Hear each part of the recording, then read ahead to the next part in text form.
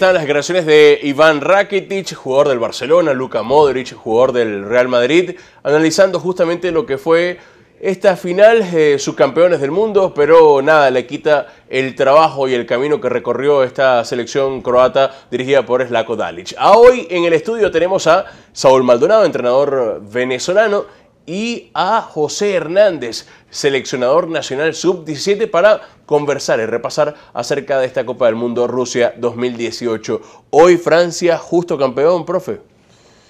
Bueno, primero que nada, nuevamente agradecerle por la invitación, hoy con la oportunidad de compartir con, con compañero Saúl.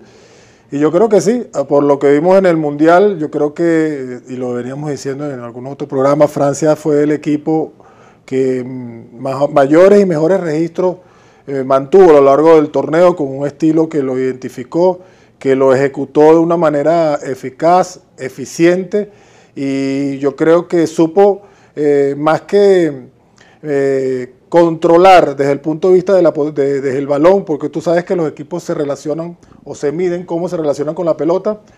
Francia no era uno de que su prioridad fuera mucho tener el balón para poder ganar espacio y profundizar en el juego rival, pero sí mostró una, una gran jerarquía y un gran dominio a la hora de, de, ocuparse de los espacios y de dominar el juego como tal. Y creo que fue venciendo a rivales importantes y le dio la oportunidad hoy de ser campeón del mundo, mostrando quizás un fútbol bastante eficaz y yo creo que mostrando la, sobre todo la posibilidad de darle respuestas constantes a las distintas propuestas que venían haciendo cada uno de los rivales que tuvo.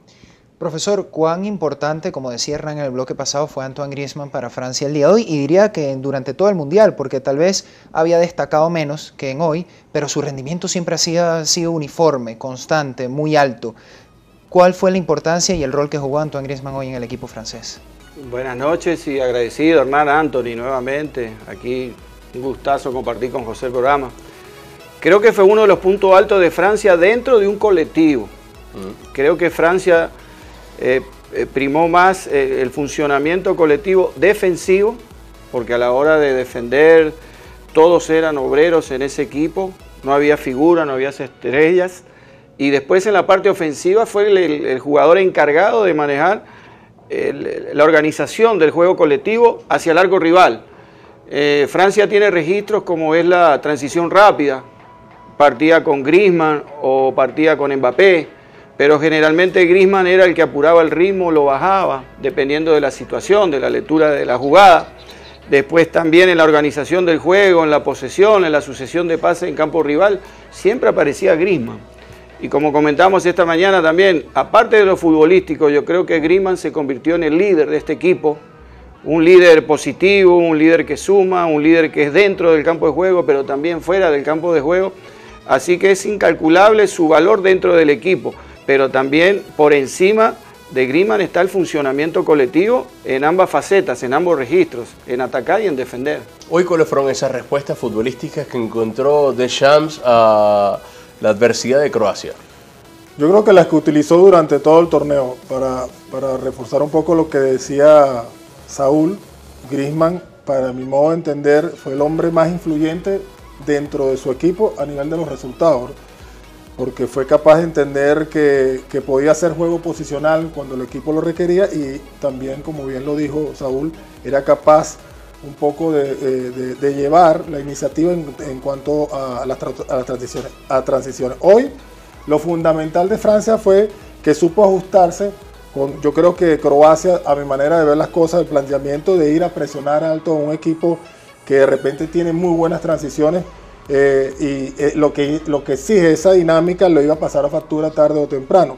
Yo creo que eh, en un principio lo sorprende porque por el lado derecho buscó unas asociaciones importantes entre Revit, creo que se llama el Revit, extremo derecho. Versálico, Modric, y por ahí crearon algunas superioridades que por momentos sorprendió al equipo francés, mientras por el lado izquierdo apostaba un poco a la velocidad y a ese duelo que tenía Pérez con, con Pavar, que, que, Pavar, que tuvo, yo creo que un poco lento allí, un poco quedado sobre el inicio, pero Francia comenzó a ajustarse, correr a Matuidi bastante bien a la izquierda, Canté iba mucho hacia ese costado, por base terminaba cerrándose en el medio, y de alguna manera se obligaba que en las transiciones Mbappé arrancara más atrás porque tenía eh, que cerrar el lado derecho. Allí yo creo que cuando comenzó a controlar bien un poco ese, inicio, esa iniciativa del equipo croata, eh, comenzaron a tener algunas llegadas importantes, como la saben hacer ellos, eh, transitando con, inteligencia, con Griezmann siendo siempre